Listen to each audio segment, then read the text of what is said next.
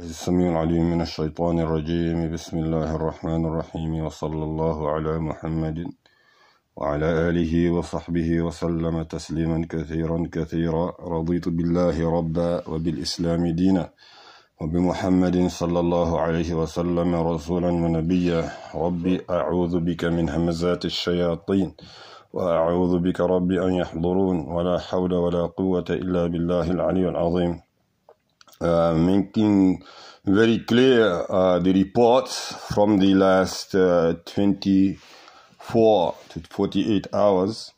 Um, there has been uh, several encounters, uh, one uh, taking place just a few moments ago as a result of the confrontation at the center with Iblisi allies. And as we have noted before, this warfare is a spiritual, intellectual warfare. We are professional. Uh, the brothers, brothers, and brothers, intelligent and corporate brothers uh, were there yesterday as uh, the action took place. Uh, those who were present, uh, among them were, were ad- adults, and among them were also children. Um, I think that it's important to note that there was prior uh, prior history, and this history is that um, a, a sister was uh, was contacted, and the sister uh, is a married sister, and she she was not happy, obviously, about the fact that she was contacted um, so she told her son, and um, this played into what uh, transpired yesterday.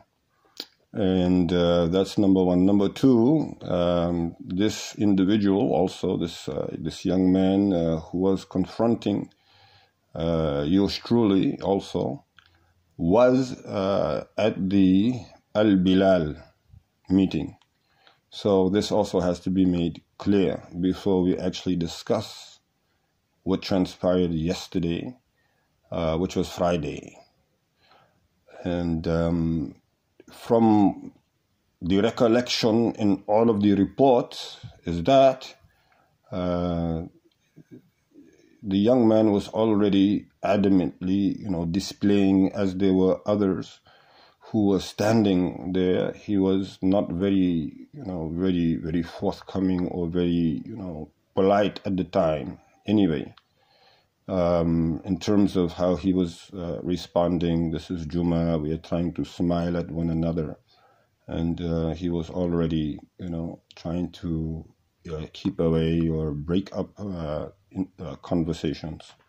Is at least you understand what it is that uh, from what I personally saw. So as he was leaving, um, he turned his back and uh, we tapped on the shoulder basically, and um, as, uh, saying, "Aren't you going to? Aren't you going to, to, to shake our hands as you're shaking everybody's hand to leave?" Uh, and then, um, uh, you know, when we shook his hand, love you for the sake of Allah is uh, what I said, and uh, I do recall him saying um, something along the same lines, and I reminded the young man that uh, love for taqwa, uh, friendship based on taqwa, is the only friendship that Allah subhanahu wa ta'ala rewards for the akhirah, not for any other type of ties, only ties based on taqwa.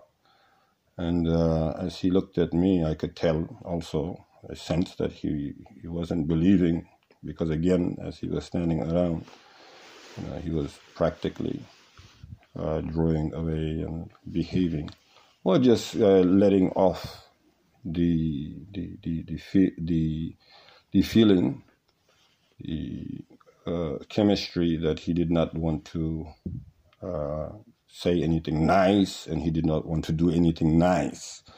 But now uh, he's looking at yours truly like, I really don't believe you almost. You know, you're telling me that this is what Allah says. and um, I don't really believe you. So this is where I said to him, uh, "It's okay. I can I can pull up the ayah and and send it to you. If you don't believe me, I can." So I said that to him in advance. He said, "Don't send me anything." I said to him, "This is Quran I'm trying to send to you." He said, "I don't care, and I don't appreciate you calling my Umi. I don't appreciate you calling my Umi." So I said, "What?" He repeated it, semi repeated it, and of course the the brothers lashed out because uh, number one, uh, your Umi is an adult and okayed to be contacted. Number two, your Umi is married and her husband was also sorted his okay or his permission who was actually on the phone when we called you Umi. So this is the second issue as to how it is that you are now you are the child. How it is that you know adults have gotten together and spoken. It's taken place, you know, uh, maybe about a month ago. How it is now that you are and you know you have such animosity so I asked the boy as he's standing in my face talking, Why are you so hostile? And again, he doesn't appreciate me calling his Umi. So, of course, as lashing out went, I let this boy know that I had questions for you, Umi. Who was Mubarak Jilani? Why did he come to the United States? And what is TMOA? I asked her that while your stepdad was on the phone. She did not want to continue the conversation while he was on the phone. That's not my business. But it's not your business to tell me what it is that adults can and cannot do as they agree upon each other. So then he had to start to, this young man had to back up because this is no no small matter. First of all, people need to understand that uh, our uh, our our adamant stand on uh, on TMOA and Mubarak Jilani. We did not just wake up uh, two days, three days ago and decide that um, you know we had to you know we had to take a stand against the the ideology. This did not just happen yesterday. And this is something I had to let his Umi know, who thought that I had been around for 15 years, calling me just an old chip off the block. I had to remind her that I've been following Mubarak Jilani and the TMOA because of the fact that the ex wife that I had at the time had joined with my own little girls. This has been 21 years ago. I went into the quote unquote spiritual realm in order to fight and get my family back. Allah Ta'ala granted it to me and I got them back. When I did get them back, I asked again, what would happen if Mubarak Jilani died? I asked my wife that. What would happen if he died? She said, uh, We don't know, but he has sons. And I said to her back then, No. This may have been about 15, 16 years ago. By then, I was still asking questions that were not clarified 20 the, the years prior to that. Why it is that he had came here to begin with, and why it is that he could not return here why it is that his English was not clear and he could not recite the Holy Quran. If he could not recite it, he could not be giving knowledge from the Quran because he does not know the language of the Quran.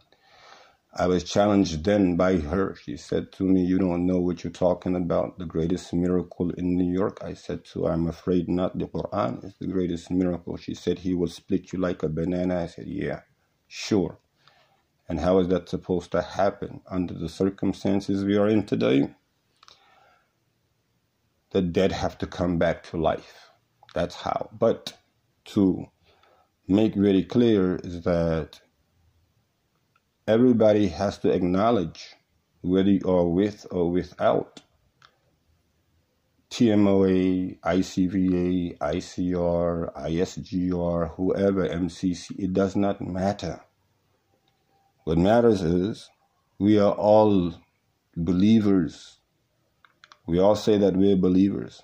And the only thing that matters is what Allah subhanahu wa ta'ala said, this Quran, what He gave us, this Quran. We are not going to allow any of those mentioned to make mockery of it, to make uh, uh, uh, light of the Quran, to make claims that are unfounded in the Quran. You say that you have Muslims and you have a community of Muslimin and you're teaching which you cannot substantiate, which the Quran does not substantiate it, and we are supposed to be Muslimin, Muslim citizens, and we are supposed to keep quiet. This is what has been going on for decades. That's why it's as it is today.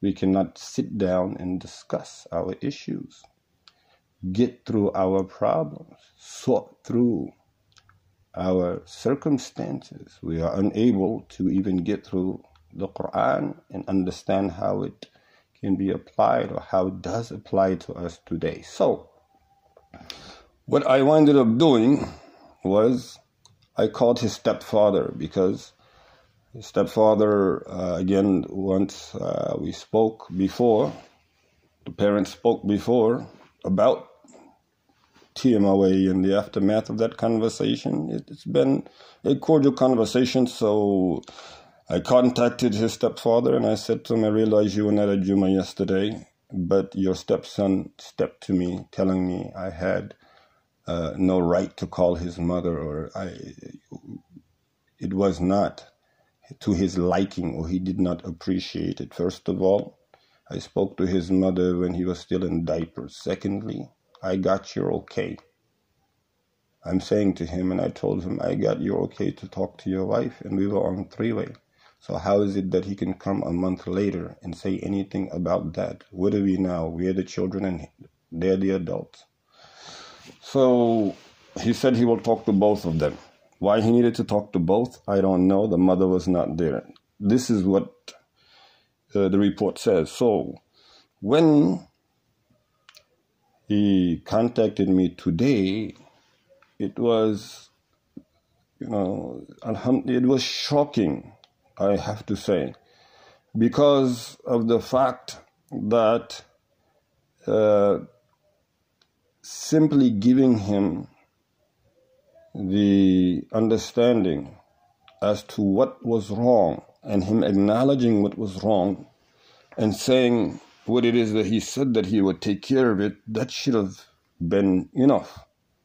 However, what it is that uh, he did, as he mentioned, he would talk to his stepson and uh, he spoke to his wife. And so he calls back today and says now he's heard the full story. He does not want anybody to, you know, as rightfully so, as everybody's right to mess around with his family. If his family is following whoever they want to follow, then there is no business of anybody else in it and um, let's uh, let's make sure that yours truly understands that whatever it is that um, uh, I am doing to leave his family out of it. And so um, I think that we have to make very clear that first of all, we are not here for any worldly gains, family, money, friends. We're not here for any of that. We're not here for any type of status. We're not here for any type of wage. We're only here now and today. The end of today is not even assured to us. We do not need to get anybody's involvement in any way, shape, or form. It's only Allah subhanahu wa ta'ala that we count on. Number two, everybody who says La ilaha illallah, everybody who subscribes to La ilaha illallah Muhammad Rasulullah sallallahu alaihi wasallam, every Muslim citizen has an absolute right to speak out against falsehood, specifically and particularly when it pertains to Al Islam. We might not like the fact that we are imperfect, but we really are imperfect, and when there is truth, we have every responsibility to substantiate it. I'm not going to substantiate this truth because somebody else is involved in it that other than people that I like or other than an individual that I like? Is that how you decide to practice Islam? I'm going to do certain things depending on how somebody else did it, not Rasul alayhi not his companions, but I'm going to do it because of the fact that others who came later wrote their books and said that this is the way to do it. That's why I'm going to do it. So, I have to make very clear that we're not here for any type of uh, ambitious uh, lower desires. We're only here for the shahadatu Allah ilaha illallah Muhammad Rasulullah sallallahu alayhi wasallam. From Allah we come into Him alone we must return. Uh, so this was made very clear uh, to to the father to the father, excuse me, and uh, also another very important uh, clear message as uh, uh, communicated earlier was that you know you want to say something about Islam that Islam has a reviver who just establish their community. You want to claim that this reviver is a spiritual leader, that they revived, uh, they brought the dead back to life. You want to claim that they moved the sun, the moon. You want to claim the skies. Bring it. Evidence. You don't want to hear any questions about that whatsoever. You don't want to respond. You don't want to substantiate. And you want to say that you have the truth. You want to say that anybody who does otherwise is false, and you're the one with the truth. So, this is the issue for all of the Muslimin today. Even as general amnesty is placed on all of us, we still state if you really do believe in Allah and the last day, substantiate the truth, be accepting to the truth, be rejectful to the falsehood, purely for Allah subhanahu wa ta'ala's reward. So, Alhamdulillah, I mean, you know, after making several points clear to him, again, um, how it is, um, you know, that I could get out of line with a child just because a child is getting out of line. But you were not there to say if I was out of line or not. But we both already agreed that your child was out of line. So I myself say that what happens when a child gets out of line and an adult, an adult is there, they must deal with it accordingly. And that's exactly what the Brothers, Brothers Incorporated brothers were there saying. That we're dealing with it professionally and accordingly. Raising up the voices, yes. And when we raise the voice, is because of the statement that he made and what we said to him again was what we asked your mother and your stepfather was who is Mubarak Jilani? Why did he come to the United States? What was his mission here back 40 years ago? And what is TMOA? That's all. So, we're going to uh, continue, inshallah, to be very firm on the truth. We're not going to going to get the reward of Allah subhanahu wa ta'ala by substantiating falsehood, by rejecting the truth. We're not going to get anywhere with Allah. So we're going to stay where we, where we are. We're going to continue and persist to move forward with what we're doing for the reward of Allah. And those who are doing other things, keep doing what you're doing. And we will keep doing what we're doing. And Allah subhanahu wa ta'ala will indeed reveal who is right among us and who is wrong. He promises to substantiate the truth do you think and do could I or anybody else think that Allah subhanahu wa ta'ala makes false claims, predictions, anything? Astaghfirullah al-azim. So, he was there, he was out of line. The adult who was there confronted the situation on that basis. You were not there. But the other adults say that your child has no respect for his parents, and this is the reason why he was actually disrespectful and out of line himself. So, agreeing to move forward and getting the pleasure of Allah, getting the reward of Allah, we're willing to lay our lives down for it. We're not relenting in any way, shape, or form. And from Allah subhanahu wa ta'ala, this message comes. And indeed, the substantiation of it is by Allah subhanahu wa ta'ala alone. May He make clear that in which is dark, which is unclear, and truth clear and easy and acceptable for all of us to follow, and the falsehood easy for us to see, understand, and rejectful of. So the last thing, when we talk about sitting down and talking through our our problems, this individual, and this is where it has to end. So let's sit down and talk about our problems. So he says, in order for, he believes in order for us to sit down and discuss our issues civilly and professionally, we have to have learned people among us. Okay?